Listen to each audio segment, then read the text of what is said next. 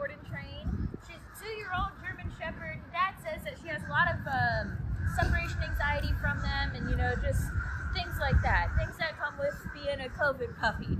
So um, they said that she barks a lot. She really pulls on that leash, and they just want her to get a little more training under her belt. But for right now, we're gonna see what she knows. Sophie, can you come?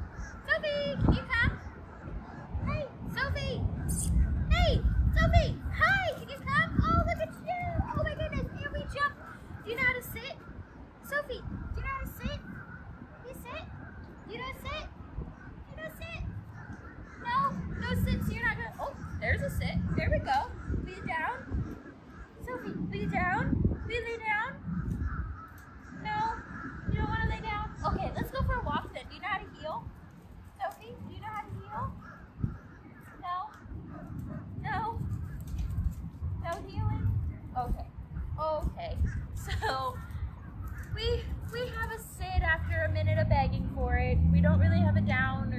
Walking with us on the leash. She's kind of in her own little world and just wants to uh, pay attention to her own things. So we're gonna work on all that in the next 15 days. So come back and see your transformation.